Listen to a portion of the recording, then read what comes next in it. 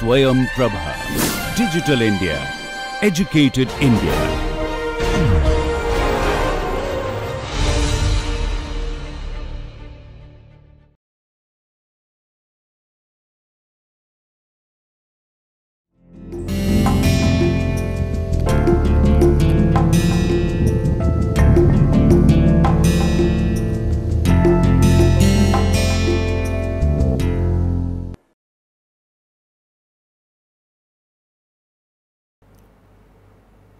Well students this is doctor Ajay Kumar Singh assistant professor faculty of law you this is my third lecture to which I am going to present before you and the name of this lecture is right to quality समानता का अधिकार आप जैसा कि जानते होंगे मैंने चूँकि अपना इस संवैधानिक विधि के पाठ्यक्रम को सिलेबस को कोर्स को, कोर्स को हिंदी भाषी छात्रों को विशेष ध्यान में रखते हुए तैयार किया है। उनकी आकांक्षाओं के अनुरूप, उनकी समस्याओं को ध्यान में रखते हुए, प्रतियोगी परीक्षाओं को ध्यान में रखते हुए मैंने बताने का प्रयास किया है। पहला है समा, जो समानता का अधिकार। आप सभी जानते होंगे, भारतीय संविधान निर्माताओं के द्वारा भारत में एक समतामूलक समाज की स्थापना के लिए समानता के अधिकार की गारंटी भारतीय संविधान की आर्टिकल 14 से लेकर के 18 तक में की गई।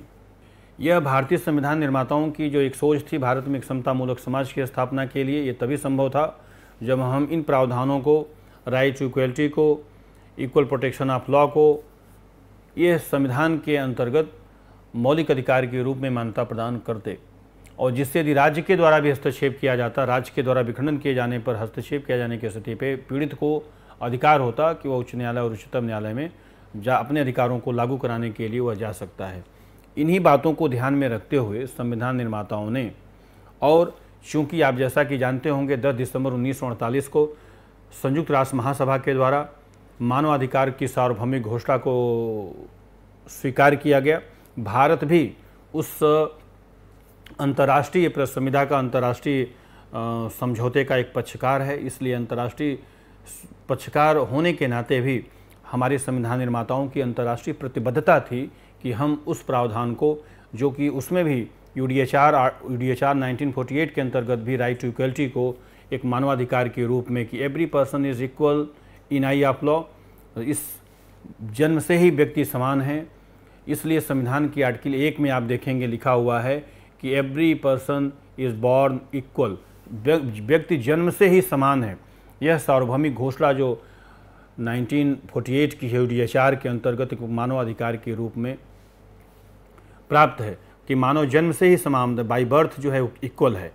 इन्हीं बातों को ध्यान में रखते हुए अंतर्राष्ट्रीय प्रतिबद्धता को भी व्यक्त करने के लिए संविधान निर्माताओं ने भाग तीन के अंतर्गत समानता के अधिकार को आर्टिकल 14, आर्टिकल 14, 15, 16 के अंतर्गत विशेष रूप से मान्यता प्रदान किया है जिससे कि हम भारत में एक समतामूलक समाज स्थापित करते हुए देश को एक सशक्त राष्ट्र के रूप में स्थापित कर पाएँ ये संविधान निर्माताओं की सोच रही होगी। अब आते हैं कि ये जो समानता का अधिकार है भारतीय संविधान के अंतर्गत मैंने आर्टिकल 14 और 15 को ज़्यादा हाईलाइट करने का प्रयास किया है। परीक्षा को दृष्टिकोण में रखते हुए कि जो परीक्षा में प्रायः प्रश्न पूछे जाते हैं वह आर्टिकल 14, 15 से ही रहते हैं। तो मैंने उच्चतम न्यायालय के दृष्टिकोण और संविधान के जो प्रावधान हैं उनको ध्यान में रखते हुए ये सभी, उनके सभी विभिन्न पहलुओं को मैंने इसमें समावेशित करने का प्रयास किया है। तो आप देख सकते हैं कि जो पहला मैंने लिखा है, विधि के समझ क्षमता आर्टिकल 14 और फिर उसके नीचे मैंने लिखा हुआ आर्टिकल 361 विशेषाधिकार। थोड़ी सी ये स्लाइड में हल्का सा इसमें मैटर जो है डिस्टर्ब हुआ है तो उसको आप मुझे लगता है कि अन्यथा नहीं लेंगे। विधि के समझ समानता, आर्टिकल 14 उसके नीचे उन्मूलन लिखा हुआ है, उपाधियों का उन्मूलन है, आर्टिकल 14 वो वहाँ पर। तो विधि के समक्ष समानता, आर्टिकल 14 उसके नीचे मैंने लिखा है वर्सेस आर्टिकल 361 विशेषाधिकार, इसको अभी देखेंगे। फिर राज्यों के द्वारा धर्म, जाति, लिंग के आधार पर विभेद नहीं किया जाएगा। ये आर्टिकल 15 के अंतर्गत है कि स्टेट के द्वारा, राज्य के द्वारा धर्म, जाति, लिंग के आधार पर विभेद नहीं किया जाएगा। ये आर्टिकल फोर, फिफ्टीन के अंतर्गत है। सिक्सटीन के अंतर्गत कि लोक नियोजन में अवसर की समानता होगी। राज्य के द्वारा पब्लिक एम्प्लॉयमेंट में, सरकारी सेवाओं में, जिन वर्गों का प्रतिनिधित्व तो नहीं है, उन्हें रोज़गार प्रदान करने के लिए राज्य प्रयास करेगा। और आर्टिकल 17 है, अस्पृश्यता का अंत अनटचेबिलिटी को एबोलिश करना आर्टिकल 17 में है। देखें, और लास्ट में है, उपाधियों का उन्मूलन एबोलिशन ऑफ़ टाइटल्स आज़ादी स्वतंत्र भारत में, नाम के पहले कोई भी व्यक्ति राय बहादुर अथवा सर नहीं लिखेगा। जैसा कि अंग्रेज़ों के द्वारा सर या राय बहादुर की उपाधि पहले दी जाती थी, समाज में प्रतिष्ठा और सम्मान बढ़ाने के लिए। समाप्ति के संविधान लागू होने के पश्चात संविधान निर्माताओं ने समतामूलक समाज स्थापित करने के लिए इस प्रकार की जो अलंकारिक अलंकार हैं अलंकार हैं जो नाम के आगे लगाने वाले सर या राय बहादुर, ऐसे उपाधियाँ, उपाधियों का अंत किया जाएगा। ये आर्टिकल एटीन में प्रावधान किया गया है। अब इसको एक एक करके देखने का प्रयास करेंगे।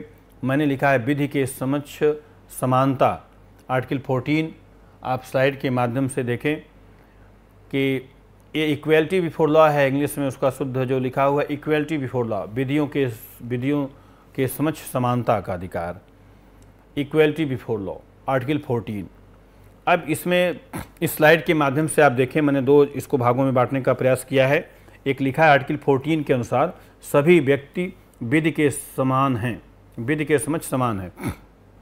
ये लिया गया है इंग्लैंड के समय। ये संविधान के आर्टिकल 14 में जो शब्दावली यूज़ की गई है, ये पहला है आर्टिकल 14 के अनुसार सभी व्यक्ति विधि के समझ समान हैं। यह मैंने ब्रैकेट में लिखा है यूके अर्थात इंग्लैंड से लिया गया है। सभी व्यक्तियों को विधि का समान संरक्षण प्राप्त होगा। यह यूएसए से लिया गया, मैंने ब्रैकेट में लिखा है यूएसए यह अमेरिका के संविधान से लिया गया है। ये आप इसको जानें।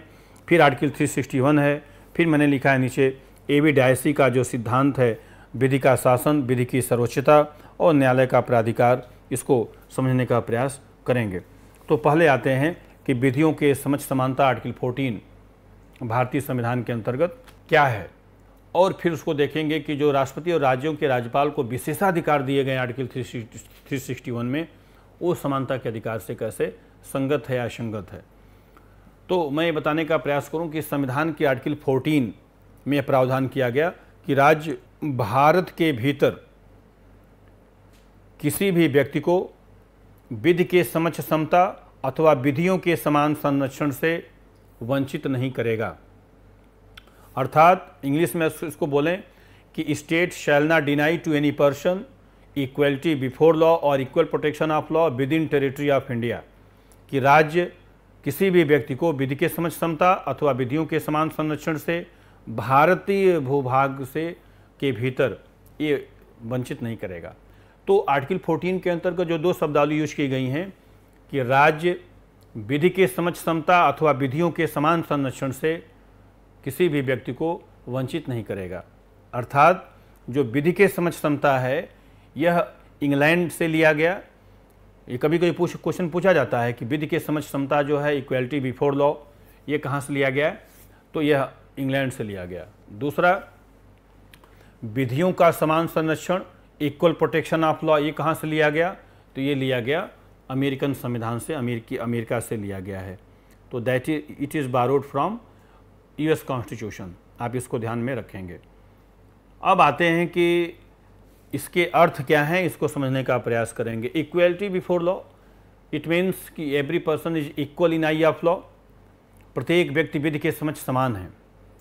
अब यह जो इंग्लैंड में प्रोफेसर ए वी डायसी है, प्रोफेसर ए वी डायसी को इंग्लैंड में संविधान के लिए एक विशेषज्ञ के रूप में, विधिशास्त्री के रूप में जाना जाता है। आप सभी जानते होंगे कि professor A V Dicey was the first person who propounded doctrine of rule of law विधि का शासन के जनक को हम एविडाइसी को विधि के शासन के जनक के रूप में देखते हैं कि रूल ऑफ़ लॉ के सिद्धांत को उन्होंने प्रतिपादित किया।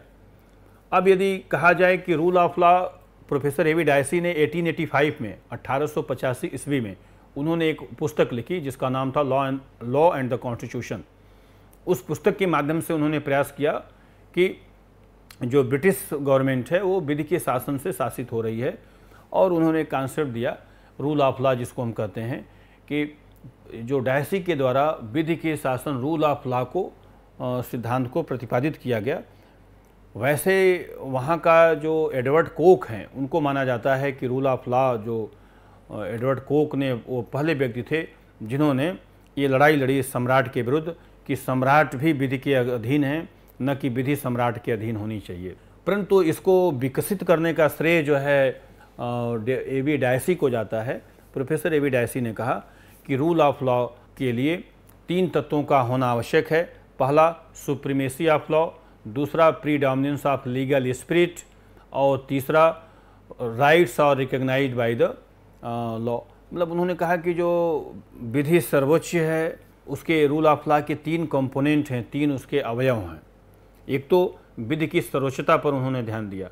दूसरा ध्यान दिया कि इसमें हमने लिखा था न्यायालय का प्राधिकार। स्क्रीन पर देखें कि कोर्ट न्यायालय का प्राधिकार, विधि की सर्वोच्चता, predominance of legal spirit, उन्होंने वर्ड बोला। तो प्रोफेसर एवी डायसी के अनुसार विधि का शासन से तात्पर्य कि law should be man should be subject to the law, not law should be subject to the man. जो विधि है उस विधि के समझ सभी व्यक्ति समान है। विधि law should be subject man should be subject to the law सभी व्यक्तियों पर लॉ विधि समान रूप से लागू होगी। तो सम्राट के द्वारा या जैसा कि आप जानते हैं, ब्रिटेन में मोनार्की थी, वहाँ पे राजतंत्र था कुछ समय तो। फिर बाद में पार्लियामेंट और पार्लियामेंट्री डेमोक्रेसी आई, उसमें भी सम्राट और क्वीन होती थी। पार्ले वहाँ पे सम्राट और किंग क्राउन के द्वारा किए गए कार्य को अब एक बात जो समझ में आती है कि अट्ठारह में जब एवी डायसी के द्वारा रूल ऑफ़ लॉ डेवलप किया गया, और ब्रिटिश पार्लियामेंट ने वहाँ पे एक मैक्सिम थी, वहाँ पे एक सिद्धांत था king can do no wrong king can do no wrong अर्थात सम्राट कोई गलती नहीं कर सकता, इसका हिंदी में अर्थ होता है। और जिसके लिए इंग्लिश के, जिसके लिए हम सम्राट अथवा उसके प्रतिनिधि, उसके एजेंट के लिए किए गए दोषपूर्ण कार्य को उत्तरदायी नहीं ठहराया जा सकता था। ऐसा एक वहाँ पे लीगल प्रोटेक्शन था कि न तो crown neither crown, nor his representatives could be held responsible for their misdeeds wrongdoings wrongs तो स्टेट लाइबिलिटी के लिए जो है ये हम पढ़ते हैं, स्टेट लाइबिलिटी कॉन्सेप्ट में, कि उनको विशेष प्रोटेक्शन मिला हुआ था।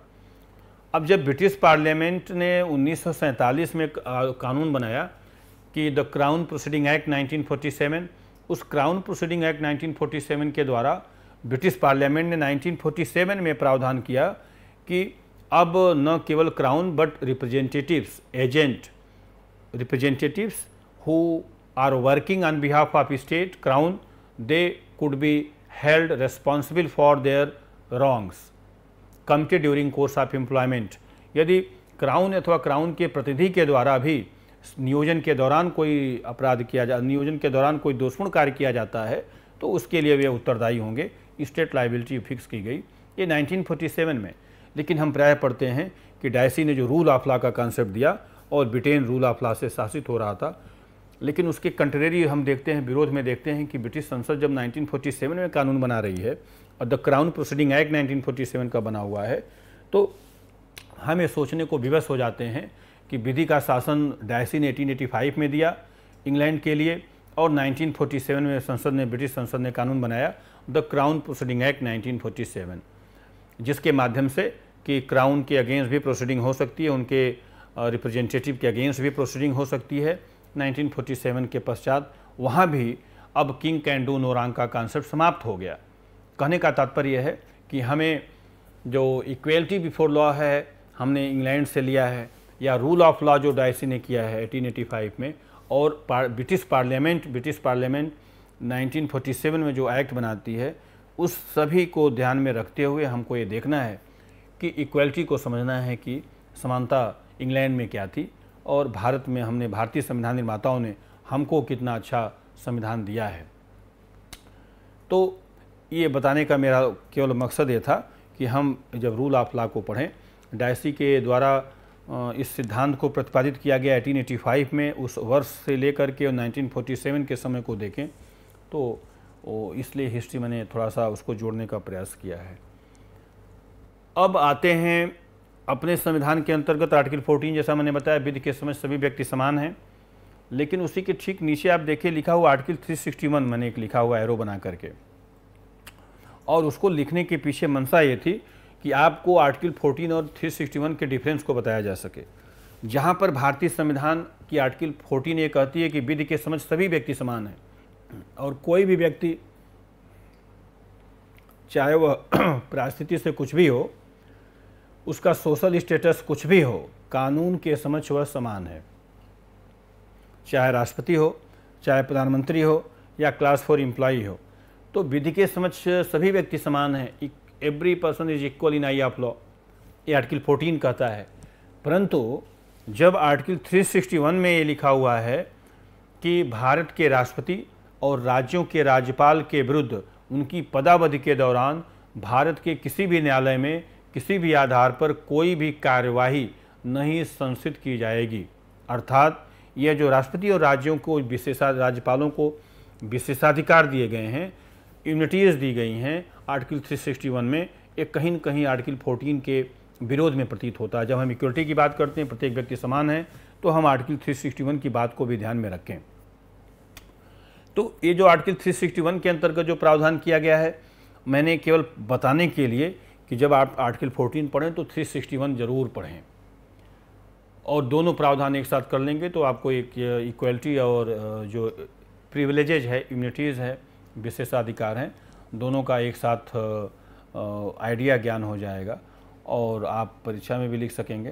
तो ये विशेषाधिकार जो दिए गए राष्ट्रपति और राज्यपालों को, ये विशेषाधिकार जानबूझ कर दिए गए कि राष्ट्रपति और राज्यपाल भी किसी न किसी राजनीतिक दल के द्वारा समर्थित व्यक्ति ही होता है और भारत जैसे लोकतंत्र में यदि राष्ट्रपति और राज्यपाल को नियुक्त किया जाए और ये विशेष प्रावधान या विशेषाधिकार नहीं दिए गए होते तो आप कल्पना कीजिए कि यदि कोई राष्ट्रपति या राज्यपाल जो किसी राजनीतिक दल से ही समर्थित होता है, किसी आइडियोलॉजी से ही प्रभावित होता है, यदि वह शपथ लेने जा रहा है या किसी उद्घाटन कार्यक्रम में जा रहा है, पता चला कि अगर ये प्रोटेक्शन नहीं होता, या विशेषाधिकार नहीं होते तो वह अपने दायित्वों का निष्पक्षता और निर्भीकता से निर्वहन नहीं कर पाता और उसके जो प्रतिद्वंदी हैं, हो सकता है ऐसे व्यक्तियों के विरुद्ध कोई आपराधिक मुकदमा करके और अनावश्यक मुकदमा करके उनको फंसाने का प्रयास करते।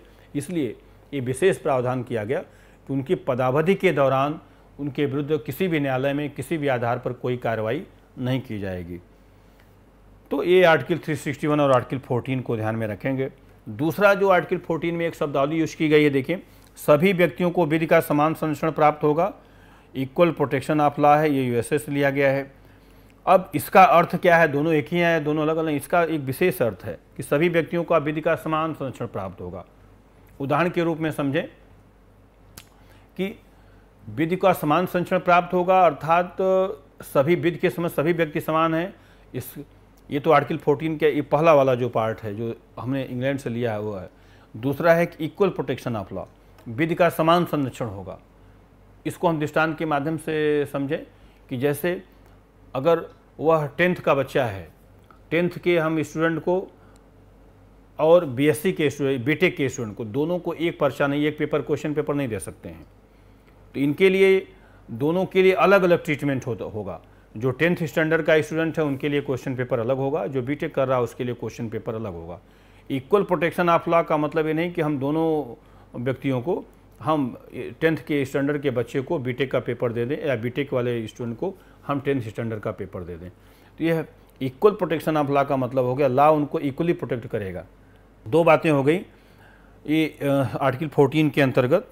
अब इसमें एक शब्दावली जो यूज़ की गई है आर्टिकल 14 के अंतर्गत, इसको स्क्रीन पर देखें। मैंने राज्य स्टेट करके, और नीचे लिखा हुआ है आर्टिकल 12 आर्टिकल 12 में मैंने लिखा है नीचे भारतीय संसद, न्यायपालिका, कार्यपालिका, फिर दूसरे साइड लिखा है राज्य विधानमंडल, कार्यपालिका।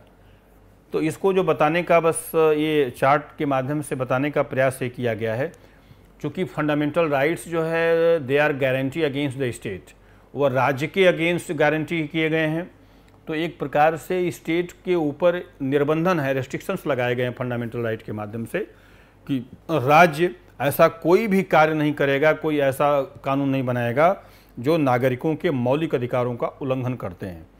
जैसा कि आर्टिकल 14 में वर्ड यूज़ किया गया है।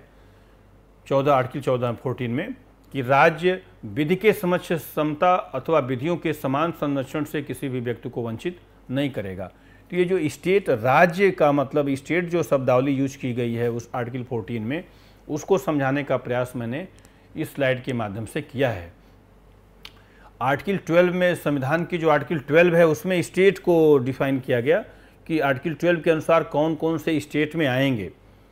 तो आर्टिकल 12 के अनुसार जो स्टेट में सम्मिलित किए गए हैं। वह है कि भारतीय संसद या केंद्रीय कार्यपालिका या भारत या किसी राज्य के विधानमंडल या राज्य की कार्यपालिका।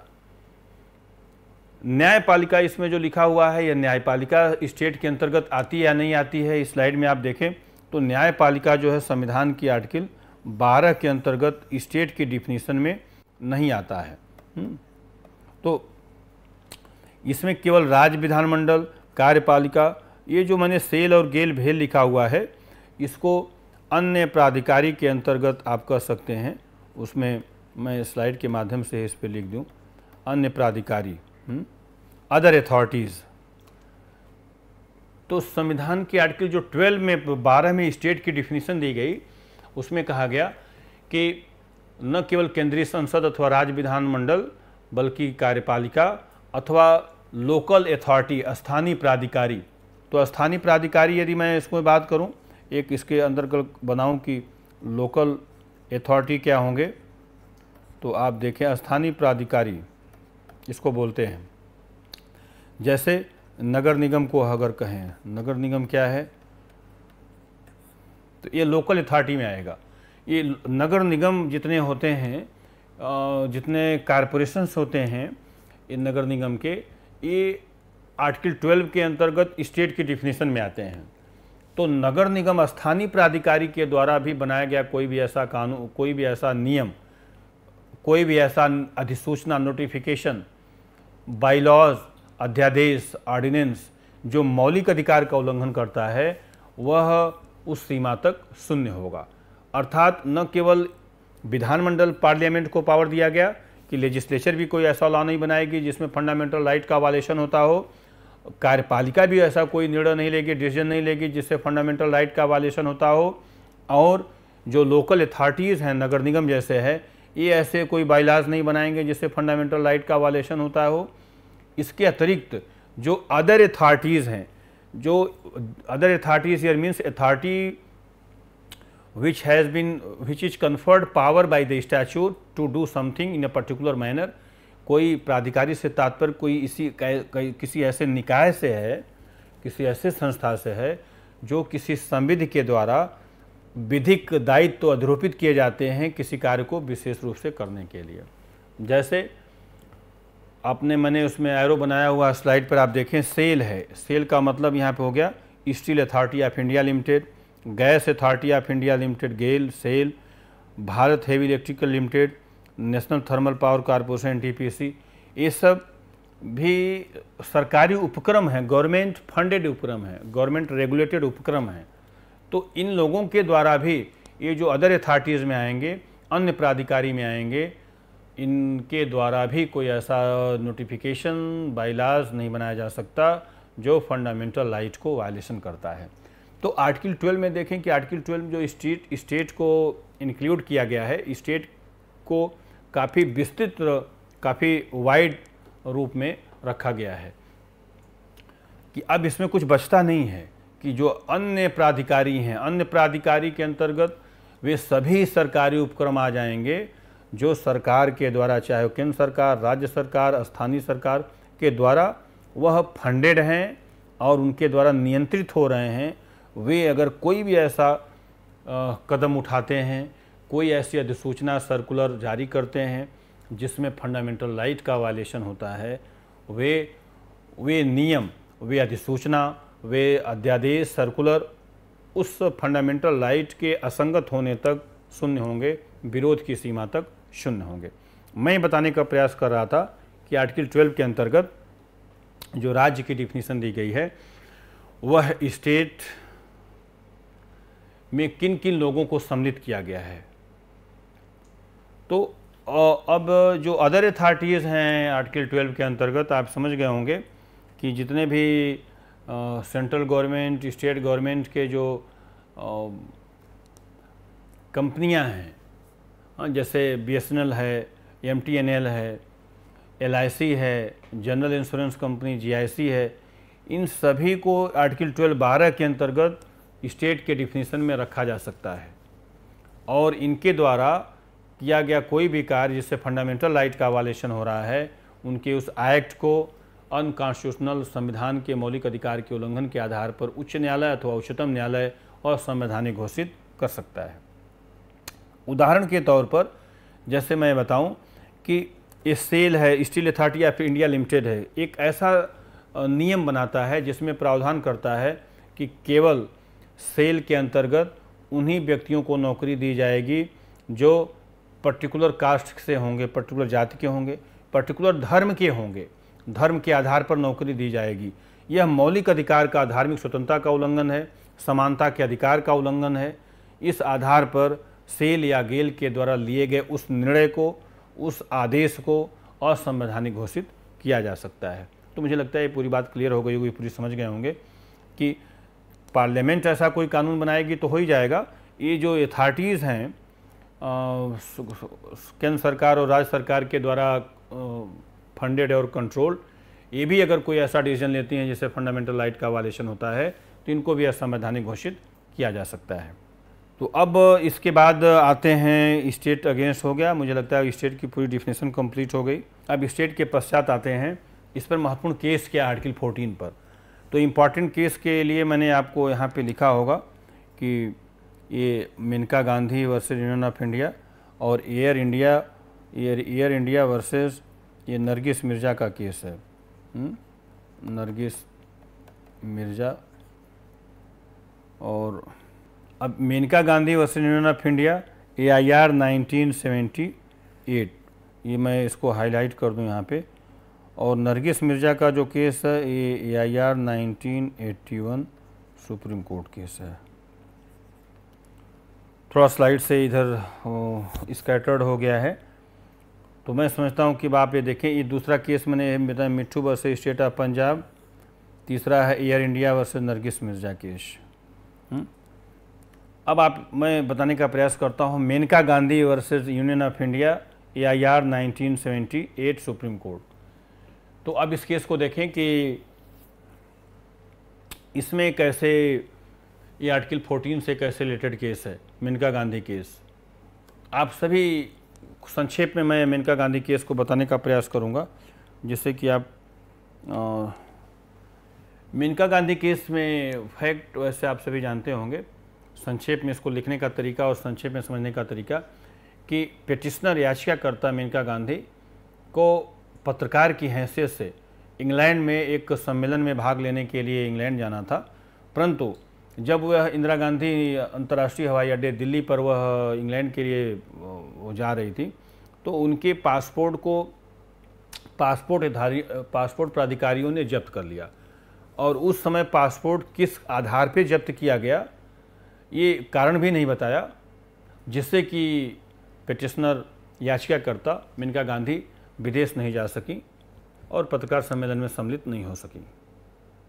इन्होंने पासपोर्ट प्राधिकारियों से पूछा तो उन्होंने भी बताने से इनकार कर दिया कि एक ग्राउंड डिस्क्लोज नहीं किया जा सकते, कि onward ground your passport is impounded then being agreed जो है सी file a petition in Supreme Court कि उनके इस अधिकार का उल्लंघन हुआ है। आर्टिकल 14 का उल्लंघन हुआ है, क्योंकि पासपोर्ट अथॉरिटीज़ जो है वो आर्बिटरी मैनर में वो एडमिनिस्ट्रेटिव अथॉरिटी हैं, प्रशासनिक अधिकारी हैं और प्रशासनिक अधिकारी administrative authority can not take any decision without giving reason to the agreed बिना अग्रीड को कारण बताए हुए कोई निर्णय नहीं लिया जाना, ऐसा निर्णय लिया जाना नैसर्गिक न्याय के सुनवाई के अवसर के सिद्धांत से वंचित करना है। जो आर डी अल्टम पार्टम के रूप में हम जानते हैं party must be heard party must be heard opportunity of hearing must be given to to to the aggrieved before taking before taking any decision against him or her. So, no administrative authority can take any decision against the aggrieved without giving opportunity of hearing to the aggrieved.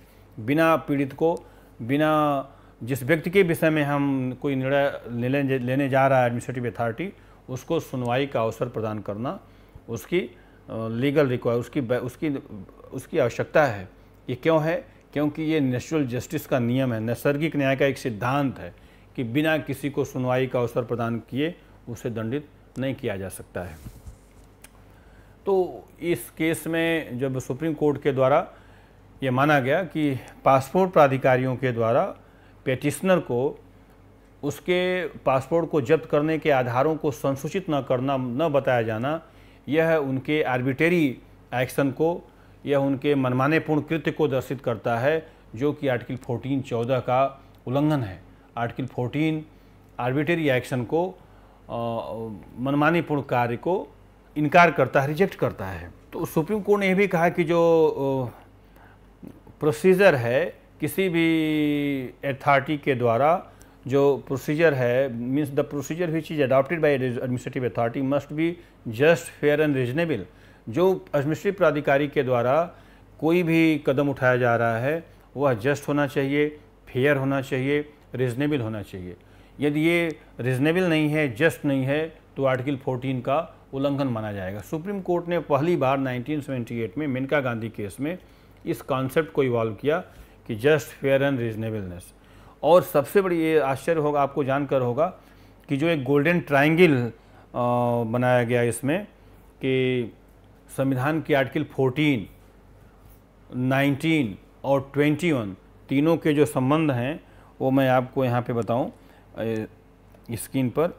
एक golden triangle के माध्यम से कि article ये ये article 14 है और ये आर्टिकल 19 और ये आर्टिकल 21 कि आर्टिकल 14, 19, 21 एक ट्रायंगल हैं और जो ट्रायंगल का अस्तित्व होता है कि अगर एक भुजा को निकाल दिया जाए एक आर्गन को निकाल दिया जाए तो ट्रायंगल का अस्तित्व नहीं रह जाएगा एग्जिस्टेंस नहीं रह जाएगा। इसलिए ट्रायंगल के अस्तित्व के लिए आवश्यक है कि तीनों आर्गन का एक दूसरे से कनेक्ट होना। इसलिए आर्टिकल 14, 19, 21 एक गोल्डन ट्रायंगल का निर्माण करते हैं। और एक आर्टिकल की एक समता के अधिकार को अगर निकाल दिया जाए तो आर्टिकल 19, 21 वुड बी मीनिंगलेस जीने के अधिकार को इसलिए तीनों एक दूसरे से इंटरलिंक्ड हैं। ये सबसे महत्वपूर्ण निर्णय सुप्रीम कोर्ट के द्वारा इस केस में दिया गया। दूसरा, मैं इसमें आपको केस बताऊँ। Mitthu versus state of Punjab A I R nineteen Supreme Court. अब इसमें इस केस को आप देखें, भारतीय आईपीसी की धारा 303 के अंतर्गत ये प्रावधान किया गया है कि जो कोई भी दोषित, जो कोई हत्या का दोषित अभियुक्त यदि पुनः मृत्यु, पुनः ऐसा अपराध करता है जो मृत्युदंड से दंडनीय है तो ऐसी स्थिति में उसे केवल और केवल एक ही सज़ा होगी और वह है मृत्युदंड। प्रायः सभी आप देखेंगे जितने भारतीय दंड संहिता के अंतर्गत अपराध हैं, उन सभी धाराओं के अंतर्गत दो प्रकार के दंड दिए गए हैं। 302 में भी लिखा हुआ है कि जो कोई भी 302 आईपीसी का लिखा है प्रावधान है कि जो कोई भी किसी अन्य व्यक्ति की मृत्यु कारित करेगा वह मृत्युदंड अथवा आजीवन कारावास और जुर्माने से दंडित होगा। अर्थात ये जो मृत्युदंड या आजीवन कारावास का जो विकल्प दिया गया है, वह न्यायालय को डिस्क्रिप्शन देता है कि जो अब मर्डर किया गया, वह फ़र्स्ट डिग्री ऑफेंडर है, पहली बार उसने एक मर्डर किया है, मजबूरी व्यवस्था में मर्डर किया है, या पेशेवर मर्डर है। अगर पेशेवर है तो हम मृत्युदंड देंगे। फ़र्स्ट फ़र्स्ट डिग्री ऑफेंडर है, पहली बार उसने मृत्यु कारित की है तो उस पर कुछ उदारता बरती जा सकती न्यायालय के द्वारा, आजीवन कारावास दिया सकता है। इसलिए जब आईपीसी के धारा 302 में मर्डर के लिए, हत्या के लिए दो प्रकार के विकल्प दिए गए हैं तो धारा 303 में आईपीसी के अंतर्गत केवल और केवल न्यायालय के डिस्कशन को कन्फाइन करना, समाप्त करना कि वह हत्यारे के द्वारा अगर पुनः हत्या कर दी जाए तो उसे केवल मृत्युदंड दिया जाएगा। और कोई अन्य सज़ा किसी प्रकार की सज़ा में कमी नहीं होगी। यह संविधान के आर्टिकल चौदह का उल्लंघन है, समानता का उल्लंघन है और या इसको देखें, ये इसमें ब्रैकेट में लिखा हुआ है 303 आईपीसी असंवैधानिक है। सुप्रीम कोर्ट के द्वारा 1983 में इसको असंवैधानिक घोषित कर दिया गया। तो यह केवल और केवल इसलिए कि उसमें न्यायालय को डिस्कशन नहीं दिया जाना और एक ही वर्ग के एक अपराध के किए जाने वाले स्थिति में न्यायालय को विवेक से वंचित करना, यह एक प्रकार से डिस्क्रिमिनेशन है। दूसरा इसमें तीसरा केस मैंने जो स्लाइड पर लिखा है Air India versus Nargis Mirza A I R nineteen Supreme Court देखें इस केस को। ये भी बहुत इंपॉर्टेंट केस आर्टिकल 14 पर है। इस केस में क्या फैक्ट क्या है, और उस तथ्य के माध्यम से आप समझ पाएँगे कि क्या घटना घटित हुई। एयर इंडिया के द्वारा एक नोटिफिकेशन इशू किया गया था, जिसमें प्रावधान किया गया था कि किसी भी एयर होस्टेस को उसे प्रेगनेंसी के दौरान, गर्भवती होने के दौरान, अथवा 45 वर्ष आयु की पूर्ण कर लेने के पश्चात उसे उसकी सेवा से बर्खास्त कर दिया जाएगा। मतलब एयर इंडिया का वह नोटिफिकेशन रेगुलेशन जिसके अंतर्गत यह प्रावधान किया गया था कि एयर होस्टेस की प्रेगनेंसी की दशा में गर्भवती होने की स्थिति में उन्हें सेवा से बर्खास्त किया जा सकता है। अब यह इस प्रकार का प्रावधान आर्टिकल 14 के अंतर्गत यह पुरुष और स्त्री में मध्य एक तो डिस्क्रिमिनेशन करने वाला व्यक्ति इक्वलिटी का उल्लंघन है और दूसरा एयर इंडिया भी आर्टिकल 12 बारह के अंतर्गत अदर अथॉरिटी के अंतर्गत अन्य प्राधिकारी के परिभाषा के अंतर्गत आता है। गवर्नमेंट कंट्रोल बॉडी है।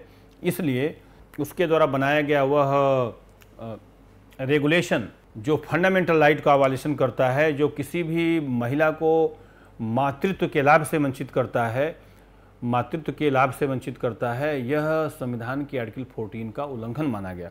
और सुप्रीम कोर्ट ने उसे उस रेगुलेशन को असंवैधानिक घोषित कर दिया। तो इसमें ये इतने महत्वपूर्ण केस हैं आर्टिकल 14 के अंतर्गत। और नेक्स्ट देखते हैं। अब आर्टिकल 14 जो क्लास लेजिस्लेशन को जायज़ ठहराती है इसमें उन्होंने लिखा है, स्लाइड पर देखें कि वर्ग विधान संवैधानिक है। अर्थात किसी वर्ग विशेष के लाभ के लिए अगर कोई कानून बनाया जाए तो उससे समानता के अधिकार का उल्लंघन नहीं होगा। इस पर मैंने दो केस लिखा है चरण लाल साहू बनाम भारत संघ A I R nineteen Supreme Court. और दूसरा चरणजीत लाल का जो केस लिखा हुआ है, इसको आप देखें, चिरंजीत लाल वर्सेस भारत संघ A I R nineteen fifty one Supreme Court. इसको Bhopal gas leak disaster proceeding of claims act 1985 Charan Lal Sahu case को भोपाल गैस केस के नाम से भी जानते हैं, मैंने स्लाइड में देखिए नीचे लिखा हुआ है। ये भी आर्टिकल 14 पर बहुत इंपॉर्टेंट केस है चरण लाल साहू, बनाम भारत संघ A I R nineteen Supreme Court. इसे भोपाल गैस कांड के नाम से भी जानते हैं, भोपाल गैस केस क्यों है?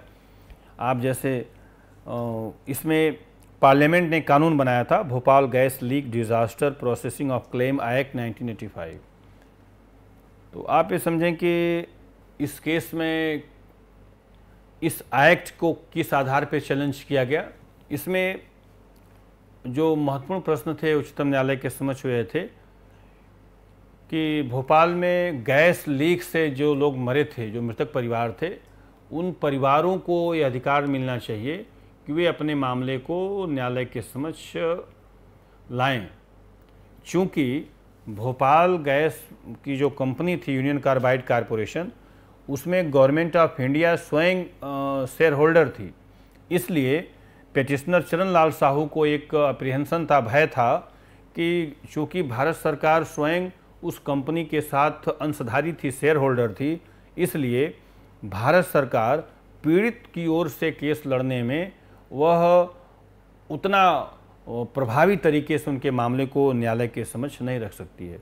जबकि भारतीय संसद के द्वारा 1985 में जो Bhopal gas leak disaster case 1984 में हुआ, उसमें 1985 में संसद ने कानून बनाया कि पीड़ितों की तरफ़ से सभी मामले स्वयं सरकार लड़ेगी। क्योंकि पीड़ितों के लिए न्याय दिलाने का कार्य सरकार का जिम्मा है, संवैधानिक दायित्व तो है। इसे सुनिश्चित करने के लिए एक एक्ट बनाया, लेकिन पेटिशनर को ऐसा भय था अप्रिहेंसन था कि चूँकि गवर्नमेंट ऑफ़ इंडिया स्वयं शेयर शेयर होल्डर है, इसलिए इस मामले में न्याय नहीं हो पाएगा। परंतु सुप्रीम कोर्ट ने इसमें कहा कि ऐसी स्थिति में गवर्नमेंट ऑफ़ इंडिया को सभी वर्गों के लिए, सभी वर्गों की तरफ़ से जो पीड़ित वर्ग हैं उनके तरफ़ से केस फ़ाइल करने के लिए अगर एक गवर्नमेंट ऑफ़ इंडिया स्वयं को एक क्लास माना जा सकता है क्योंकि इसमें आ, और उसके द्वारा जो यदि वाद पीड़ितों भोपाल गैस पीड़ित के लिए यदि केस रिप्रेजेंट किया जाता है भारत सरकार के द्वारा तो ये इसमें कोई तकनीकी खामी नहीं प्रतीत होता है। दूसरा इसमें देखें चिरंजीत लाल बनाम भारत संघ का केस मैंने लिखा हुआ है। इस केस को भी आर्टिकल 14 के अंतर्गत देखने का प्रयास करें। दूसरा, अब इसमें मैंने आर्टिकल दोनों को एक साथ कर दिया था, आर्टिकल 14 और 15 को एक साथ बताने का प्रयास किया था। आप इसको देखें कि आर्टिकल 15 इसके बाद नेक्स्ट स्लाइड पर है। राज्य के द्वारा धर्म, जाति, लिंग, जन्म, स्थान के आधार पर विभेद नहीं किया जाएगा। इसमें आर्टिकल 15 में इसमें इसको प्रावधानित किया गया है। आर्टिकल 15 में जो चार उपखंड हैं, देखें, मैंने हाईलाइट किया है article 15 clause one 15 clause three 15 clause two संविधान के आर्टिकल 15 एक प्रावधान करती है कि राज्य के द्वारा जाति, धर्म, लिंग, स्थान वंश क्रम के आधार पर विभेद नहीं किया जाएगा। तो आर्टिकल 15 क्लॉज वन स्टेट को रोकती है, राज्य को रोका गया है कि राज्य जाति, धर्म, लिंग, स्थान के आधार पर कोई विभेद नहीं करेगा। राज्य कानून बनाते समय, लॉ बनाते समय जातिगत आधार, धार्मिक आधार पर विभेद नहीं करेगा। परंतु वहीं पर आर्टिकल पंद्रह दो में लिखा हुआ है पंद्रह तीन में देखिए लिखा हुआ है। एक तो आर्टिकल पंद्रह तीन, पंद्रह एक में लिखा है कि राज्य, जाति, धर्म, लिंग, सेक्स के आधार पर कोई विभेद नहीं करेगा। परंतु आर्टिकल फिफ्टीन क्लॉज थ्री में लिखा हुआ है, इसको मैं थोड़ा सा बताने का प्रयास करूँगा स्लाइड पर ही, कि आर्टिकल फिफ्टीन क्लॉज थ्री, कि nothing in this article shall prevent the state from making in special provision for women and children. ये बेयर बेयर एक्ट की लैंग्वेज की मैं बात कर रहा हूँ, जो आर्टिकल फिफ्टीन थ्री में लिखा हुआ है। बेयर एक्ट की भाषा क्या? कि nothing in this article shall prevent the state from making an special provision for women and children. इस अनुच्छेद की कोई बात राज्य को स्त्रियों और बालकों के लिए विशेष कानून बनाने से निवारित नहीं करेगी। अर्थात स्त्रियों और बालकों के लिए राज्य विशेष कानून बना सकता है। और आर्टिकल पंद्रह तीन के ही संवैधानिक प्रावधान के आलोक में, परिप्रेक्ष्य में भारतीय संसद के द्वारा राष्ट्रीय महिला आयोग अधिनियम 1990 बनाया गया है। चाइल्ड राइट को लेकर के, बाल अधिकारों को लेकर के भी कानून भारतीय संसद के द्वारा आर्टिकल पंद्रह तीन के अंतर्गत बनाया गया और वो संवैधानिक है। एक आर्टिकल पंद्रह तीन सेक्स के आधार पर डिस्क्रिमिनेशन को वर्जित करता है और पंद्रह तीन करता है कि सेक्स के आधार पर ये जो महिलाओं के लिए विशेष कानून बनाया जा रहा है तो सेक्स के आधार पर विभेद, ये स्वयं संविधान विशेष संविधान राज्य को पावर देता है कि महिलाओं के लिए विशेष कानून बनाया जा सकता है। वो विशेष कानून, ये स्टेट को पावर इसलिए दिया गया कि राज्य विशेष कानून स्त्रियों को बना सके, क्योंकि स्त्रियों की सामाजिक स्थिति को ध्यान में रखते हुए स्टेट लिंग के आधार पर विभेद कर सकता है। उनकी सामाजिक स्थिति को ध्यान, सामाजिक स्थिति, पुरुषों की सामाजिक स्थिति से बेहतर नहीं थी। इसलिए विशेष प्रावधान संविधान निर्माताओं ने आर्टिकल पंद्रह तीन में दिया है। अब आते हैं आर्टिकल पंद्रह चार को देखें स्क्रीन पर। संविधान के आर्टिकल फिफ्टीन फोर में लिखा हुआ है कि राज्य socially and educationally backward class के लिए विशेष कानून बना सकता है। मैंने दो चीज़ें लिखा हुआ है, socially and socially and educationally backward class के लिए। इसमें ये दो शब्दावली यूज़ किया गया है।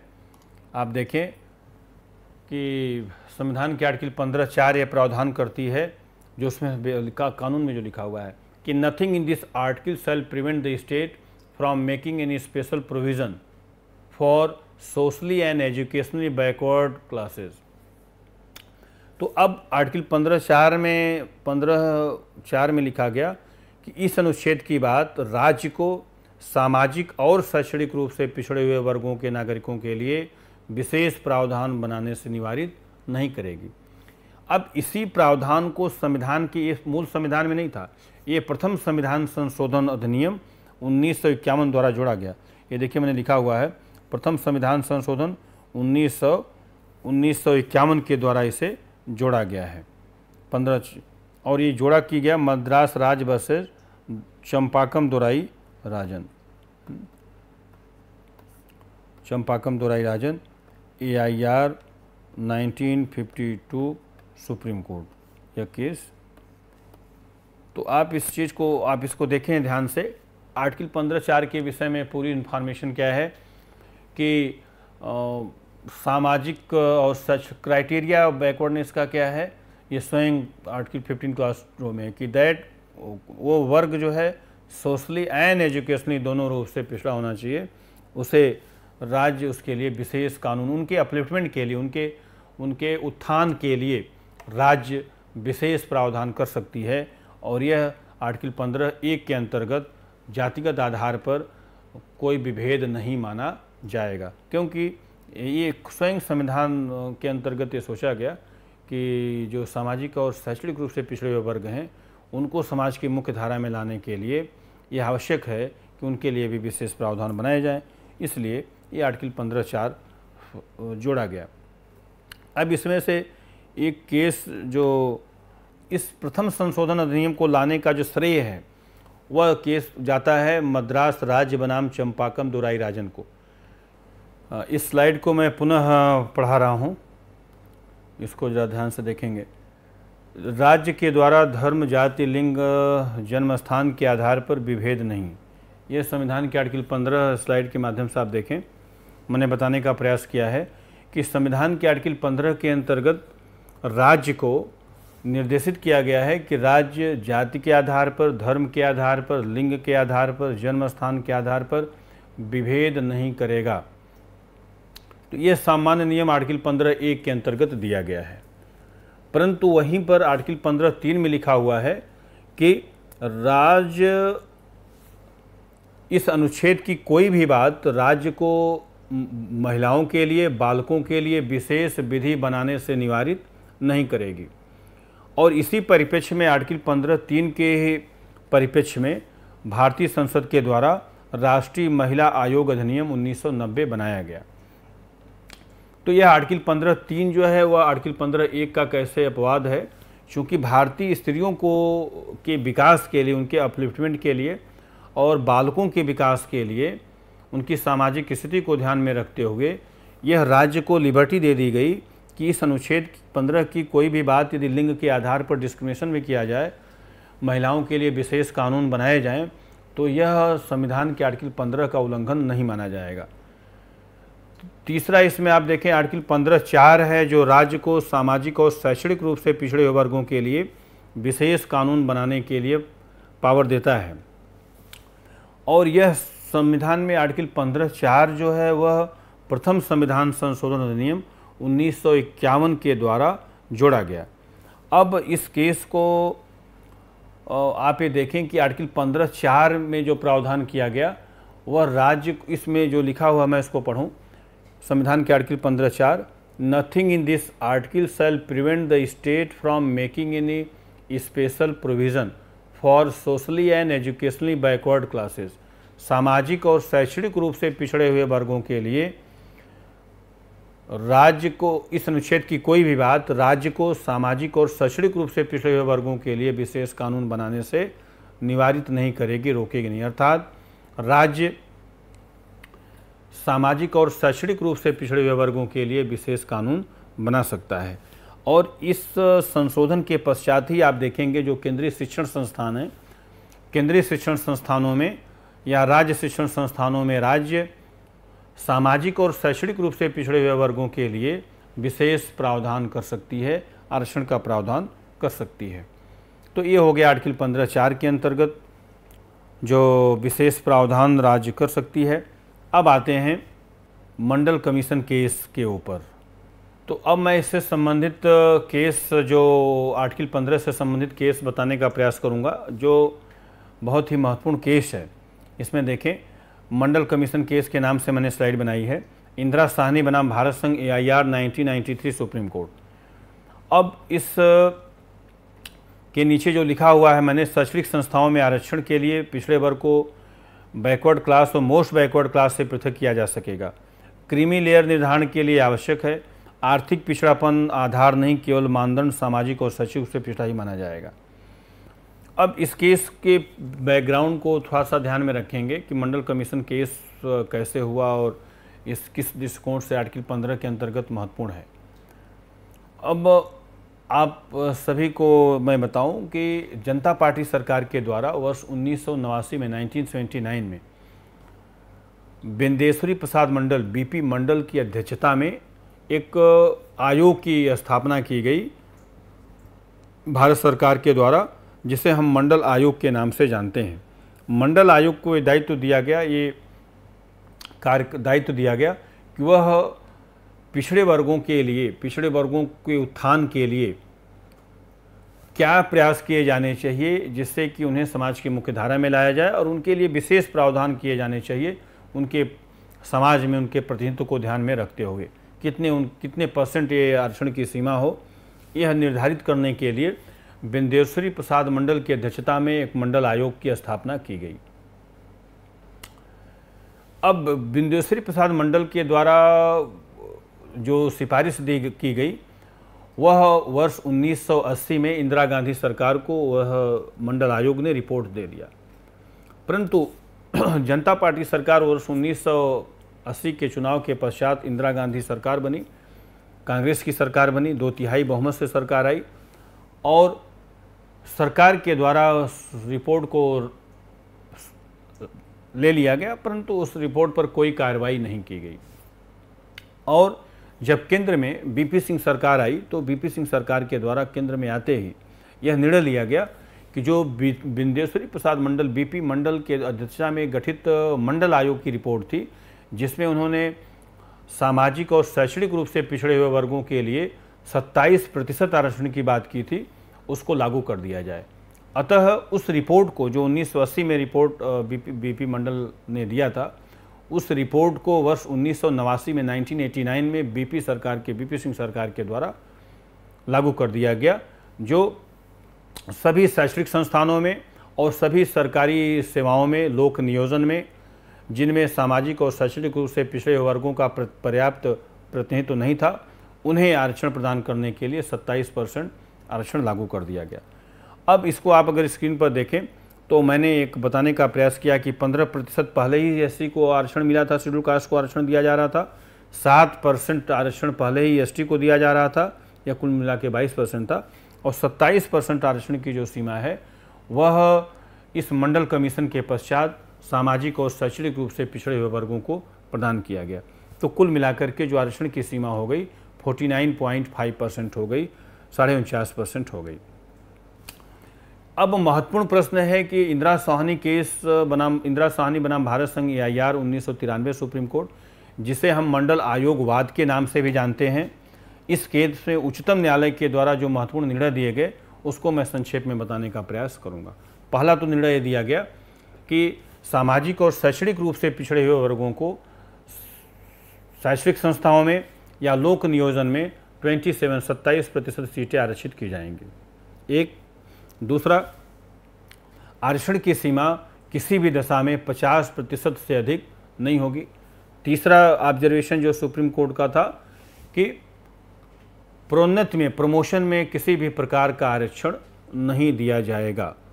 नेक्स्ट ऑब्जर्वेशन जो था इस केस में माननीय उच्चतम न्यायालय का वो ये था कि पिछड़े वर्ग में जो वर्गीकरण किया जाएगा क्लासिफिकेशन किया जाएगा मोस्ट बैकवर्ड क्लास का, वह सम्मत है, वह संवैधानिक है। अर्थात बैकवर्ड क्लास के अंतर्गत क्रीमी लेयर को निकाल करके ही मोस्ट बैकवर्ड क्लास को मीन्स अदर बैकवर्ड क्लास में जो मोस्ट बैकवर्ड क्लास हैं एमबीसी जिसको हम संक्षेप में बोलें, उनको सत्ताईस प्रतिशत आरक्षण दिया जाएगा। जो क्रीमी लेयर हैं, जो आर्थिक रूप से संपन्न हैं, उन्हें इसमें आरक्षण नहीं दिया जाएगा। क्रीमी लेयर अर्थात पहली बार इसमें लगा, क्रीमी लेयर को ओबीसी से बाहर रख करके केवल मोस्ट बैकवर्ड क्लास को ही आरक्षण दिया जाएगा। क्रीमी लेयर की क्राइटेरिया क्या होगी? ये राज्य अपने आर्थिक स्थिति के आधार पर डिसाइड कर लेगा। सामान ये इसका तात्पर्य हो गया कि जो ब्यूरोक्रेट हैं आई एस हैं आई हैं, उनके बच्चों को सरकारी सेवाओं में आरक्षण का लाभ न दिया जाए क्योंकि वह वह ऑलरेडी वह क्रीमी लेयर हैं और उन्हें आरक्षण का लाभ नहीं दिया जाना चाहिए, क्योंकि वे सामाजिक वे सामाजिक और शैक्षिक, वे, उनका लोक नियोजन में पर्याप्त प्रतिनिधित्व है। उनके अगर माता पिता की आय, निश्चित आय एक है, या उनके माता पिता में से कोई भी एक आई ऑफिसर या आई ऑफिसर है तो उनको क्रीमी लेयर मानते हुए केवल और केवल मोस्ट बैकवर्ड क्लास को ही आरक्षण दिया जाए। दूसरा, सुप्रीम कोर्ट ने कहा कि सामाजिक पिछड़ापन ही आधार होगा, आर्थिक पिछड़ापन आधार नहीं होगा। जैसा कि बाल जैसा कि बालाजी केस में कहा गया था कि आर्थिक पिछड़ापन भी रखा जा सकता, गरीबी निर्धनता भी व्यक्ति को आरक्षण देने के लिए ध्यान में रखा जा सकता है।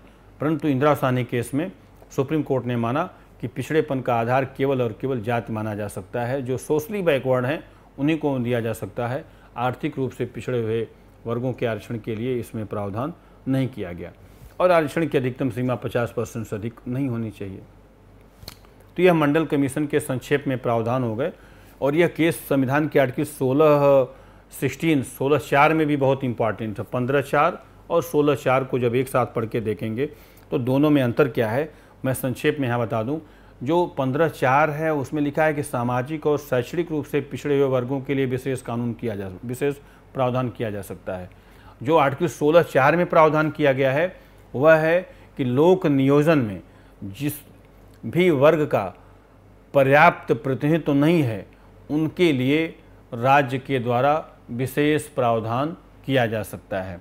तो वह जो लोक नियोजन शब्दावली यूज़ की गई आर्टिकल सोलह चार के अंतर्गत, उसका मतलब है पब्लिक एम्प्लॉयमेंट में 27 परसेंट जो रिजर्वेशन है, वह पिछड़े वर्गों के लोगों को दिया जाएगा। और पिछड़े वर्ग कौन मान? क्राइटेरिया क्या होगी डिटर्मिन करने का? वह है जो सोशली बैकवर्ड हैं, उनको हम आर्टिकल 16 क्लास फोर के अंतर्गत 27 परसेंट रिजर्वेशन दे करके उनका अपलिफ्टमेंट करेंगे, उनका हम सामाजिक उत्थान करेंगे, जिससे कि उन्हें समाज की मुख्य धारा में लाया जा सके। तो ये प्रयास जो माननीय उच्चतम न्यायालय का इंदिरा शानी की केस में था, एक राइडर फिक्स करना था कि प्रोन्नति में भी आरक्षण नहीं होगा। परंतु संसद के द्वारा भी संसद में संसद के द्वारा संविधान में संशोधन करके आर्टिकल सोलह चार का जोड़ दिया गया। जो ये प्रावधान किया गया कि एस और एसटी वर्ग के अभ्यर्थियों को प्रोन्नत में विशेष आरक्षण दिया जाएगा। उस अनुच्छेद की कोई भी बात राज्य को एस और एसटी वर्ग के व्यक्तियों को प्रोन्नत के लिए, आरक्षण के लिए कानून, विशेष कानून बनाने से निवारित नहीं करेगी। अर्थात उनके पक्ष में विशेष कानून बनाए जा सकते हैं। तो इस प्रकार से हम जब आर्टिकल पंद्रह और सोलह, पंद्रह चार और सोलह चार का अध्ययन तुलनात्मक रूप से करते हैं तो हम पाते हैं कि ये केस बहुत ही महत्वपूर्ण है दोनों जगहों पर। और अब अब हम जब इसको पहले से स्लाइड से थोड़ा सा देखने का प्रयास करें, कि मैंने आपको बताया था यहाँ पे, जो पहली स्लाइड थी, कि विधि के समझ समानता के अधिकार और विधियों के समान संरक्षण के अधिकार से तो ये राज्य स्टेट आर्टिकल 15 में भी इंपॉर्टेंट है 15 में भी इंपॉर्टेंट है। स्टेट के अंतर्गत वे सभी एजेंसीज आएँगी जिसको मैंने यहाँ पर उल्लेख किया है स्लाइड के माध्यम से। तो आप देख सकते हैं कि यदि सेल में प्रतिनिधित्व नहीं है, गेल में नहीं है तो यहाँ पे भी 27 परसेंट उनके लिए हो सकता है। और, इस प्रकार से यह पूरा जो पंद्रह चार के अंतर्गत स्थिति थी, उसको मैंने स्पष्ट करने का प्रयास इस केस के माध्यम से किया है। और इसमें समय समय पर जो संसद के द्वारा संशोधन किए गए वो भी महत्वपूर्ण है। आर्टिकल पंद्रह चार को जो जोड़ा गया प्रथम संविधान संशोधन के द्वारा मूल संविधान में नहीं था। और क्राइटेरिया क्या है पिछड़ेपन को डिसाइड करने का तो स्वयं आर्टिकल पंद्रह चार में लिखा हुआ है कि ऐसा वर्ग सामाजिक और शैक्षणिक दोनों होना चाहिए। सामाजिक और शैक्षणिक रूप से पिछड़ा हुआ वर्ग। तो शैक्षणिक पिछड़ेपन को दूर करने के लिए शैक्षणिक संस्थानों में 27 परसेंट सीट्स को उनके द्वारा, ऐसे अभ्यर्थियों के द्वारा भरा जाएगा। तो जो सामाजिक रूप से भी पिछड़े हों और शैक्षणिक रूप से भी पिछड़े हों। तो शैक्षणिक पिछड़ापन दूर करने के लिए शैक्षणिक संस्थानों में उनके पदों को, उनके जो, पद है, वह 27 प्रतिशत जो सीटें हैं उनके द्वारा भरी जाएँगी, जिससे कि उनका शैक्षणिक पिछड़ेपन, जो सोशली बैक एजुकेशनली बैकवर्ड है, उस बैकवर्डनेस को दूर किया जा सके उस 27 परसेंट के माध्यम से। पब्लिक एम्प्लॉयमेंट में अगर वे पिछड़े हैं तो उस पब्लिक एम्प्लॉयमेंट में आर्टिकल सोलह चार के माध्यम से उनको अपलिफ्ट किया जाए, उनकी उस अयोग्य, अयोग्यता को दूर किया जाए। दोनों में बहुत कन्फ्यूज़न होता है, छात्रों में प्राय मैंने देखा है। दोनों को समझने के लिए प्रयास, ये केवल देखना है। कि यहाँ पे शैक्षणिक पिछड़ापन है आर्टिकल सोलह सोलह चार के अंतर्गत पब्लिक एम्प्लॉयमेंट में अगर वह बैकवर्ड है, पीछे हैं तो उनको आगे लाने के लिए अपलिफ्टमेंट के लिए यह आर्टिकल सोलह चार का प्रावधान किया गया है। इसको सुप्रीम कोर्ट ने माना कि यह जो डिस्क्रिमिनेशन है, जो विभेद है, यह डिस्क्रिमिनेशन यह अफर्मेटिव एक्शन है। यह गवर्नमेंट सरकार का सकारात्मक कदम है अफर्मेटिव एक्शन है और इसे निगेटिव नहीं माना जा सकता है। अफर्मेटिव एक्शन इसलिए है उनको समाज की मुख्य धारा में लाने के लिए, उनके अपलिफ्टमेंट के लिए ये प्रयास किया जा रहा है। तो इस प्रकार का जो अफर्मेटिव एक्शन है, वो डिस्क्रिमिनेशन नहीं हो सकता, विभेद नहीं हो सकता है, अतः संवैधानिक है। तो मैं समझता हूँ कि इस आर्टिकल 14 और 15 के माध्यम से मैंने ये बताने का प्रयास किया कि आर्टिकल 14 में दो शब्दावली यूज़ की गई equality before law equal protection of law ये कहाँ से लिए गए हैं, समानता के अधिकार को कहाँ से लिया गया है? उसमें मेनका गांधी का जो केस है उसको बताने का प्रयास किया। Nargis Mirza case important article 14 के अंतर्गत। और मैंने जो ट्रायंगल बताया कि गोल्डन ट्रायंगल आर्टिकल 14, 19, 21 यह एक गोल्डन ट्रायंगल है। तीनों का अस्तित्व एक दूसरे के बिना नहीं है। तीनों एक दूसरे से अंतर्निहित हैं तीनों एक दूसरे से इंटरलिंक्ड हैं। इसलिए सुप्रीम कोर्ट ने कहा कि हम एक को निकाल के दूसरे की कल्पना नहीं कर सकते हैं। उसके पश्चात मैंने चरण लाल साहू की केस को बताया चिरंजीत लाल केस को बताया आर्टिकल 14 से संबंधित ये भी बहुत इंपॉर्टेंट है। उसमें एक ई पी रोयप्पा की केस है ई पी रोयप्पा वर्ष स्टेट ऑफ़ तमिलनाडु को केस में सुप्रीम कोर्ट ने निर्णित किया कि आ, जो इक्वलिटी क्लॉज है समता का अधिकार है उसको वह एक नया जो समता का अधिकार है उसके नए आयाम को सुप्रीम कोर्ट ने ई पी रोयप्पा के केस में एक न्यू डायमेंशन दिया। तो इन सभी केस के माध्यम से मैं समझता हूँ कि आप लोग, आप सभी छात्र, आर्टिकल फोर्टीन और फिफ्टीन से संबंधित संवैधानिक प्रावधान और उच्चतम न्यायालय के क्या दृष्टिकोण हैं, उसमें इतनी बातों को यदि आप ध्यान में रखेंगे तो निश्चित रूप से आप अपनी प्रतियोगी परीक्षाओं में शत प्रतिशत सफल होंगे। इस विश्वास के साथ मैं अपने इस लेक्चर को यहीं पर विराम देता हूँ। थैंक यू, धन्यवाद। thank you